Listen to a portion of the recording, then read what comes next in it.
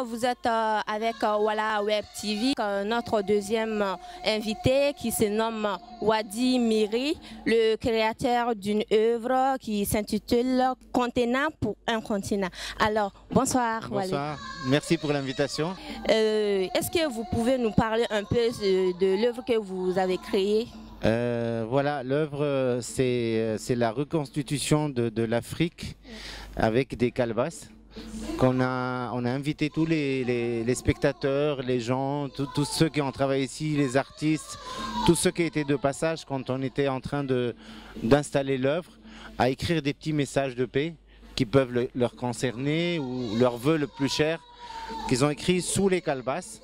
On a tout peint en blanc les calebasses, on a tenu toutes les calebasses entre elles. Et on a formé la, carte de l'Afrique avec ça. Et après, on a déposé ça sur le, fleuve en espérant que tous les vœux se réalisent. D'accord. Euh, vous êtes euh, au Salon d'art contemporain du Mali. Vous avez dû certainement rencontrer d'autres artistes euh, maliens, étrangers. Quelle, a été votre impression par rapport à ça? Je suis euh, je suis venu euh, il y a deux ans aussi au Mali. On a participé dans un atelier euh, à Bamako. Et c'est là où j'ai découvert la première fois Ségou. Et mon rêve, la première fois quand je suis venu à Ségou, je, je me suis dit, j'adorerais travailler sur le fleuve. Et là, euh, euh, le rêve s'est réalisé. Donc on a, on a travaillé à deux avec Ouda. Moi je travaille avec ma femme Ouda, on partage beaucoup de choses artistiquement. donc on a fait l'œuvre ensemble. C'est vrai que cette, cette, rencontre est très fructive au niveau connaissance. On a rencontré pas mal d'artistes, on connaît quelques-uns. On a rencontré euh, euh, des grands critiques d'art, euh, des galeristes un peu de, partout de l'Afrique. Et c'était très intéressant. D'accord. Qu'est-ce que vous pensez de, des artistes maliens, que ce soit des comédiens, des musiciens, des peintres comme vous? Moi, depuis mon passage au Mali, je n'écoute que de la musique malienne. C'est bien Même euh, le jour où on travaillait, on était avec les jeunes artistes avec nous. ils me disent, euh, on met de la musique, j'ai mis mais toute ma bande musique, ils me disent mais c'est pas de la musique arabe. Je dis non mais j'écoute que ça. Alors vous savez que là, vous comprenez que euh, il y, a plus que l'admiration, il y a beaucoup d'amour euh, pour l'art euh, malien. Et c'est pour nous, c'est une, richesse incroyable. Peut-être que vous vivez dedans, mais nous, toutes ces couleurs, toutes ces formes, même les plantes, tout est différent pour nous, donc tout est bon pour une source d'inspiration. J'espère qu'il y aura d'autres travaux. D'accord. Euh, pensez-vous qu'il y a une différence entre euh, l'art, euh, je vais dire, l'art du côté Afrique noire et l'art arabe? Non, je, pense qu'on est tous dans la même pratiquement quand j'ai vu des œuvres qui parlent un peu de terrorisme, qui parlent un peu de, du malaise dont, on vit en, Tunisie ou au Mali, on, a presque les mêmes problèmes.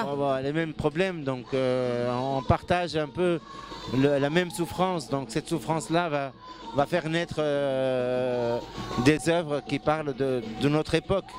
Donc c'est ça. Et j'espère qu'avec l'art, on pourra arranger euh, des choses. Inch'Allah. Et qu'est-ce que vous pensez de, du salon d'art contemporain du, Mali, euh, la première édition? Moi, je trouve que pour une première édition, c'est très réussi. On a été accueillis comme des, rois. C'était magnifique.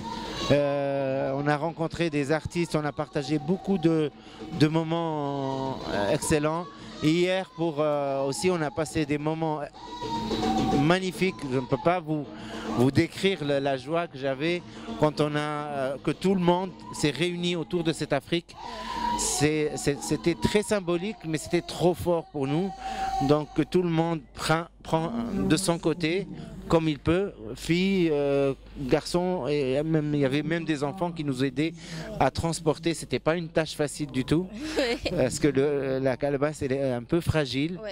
Et donc, euh, pour transporter une œuvre euh, de 100 mètres carrés, c'est quand même. Euh, il faut beaucoup d'énergie. Et puis, l'Afrique, il faut, il faut que, que, tout le monde participe pour, la, voilà, pour qu'elle soit toujours sur son plus beau. voilà, sa plus belle image. D'accord. Et pour la réalisation de, de l'œuvre, il, il a fallu combien de et il a, euh, on, est là depuis le 15, on a attaqué euh, une semaine, pratiquement une semaine. Euh, on travaillait du, du matin au soir. Euh, c'était un peu fatigant parce qu'on a eu des moments où il y avait une chaleur monstre.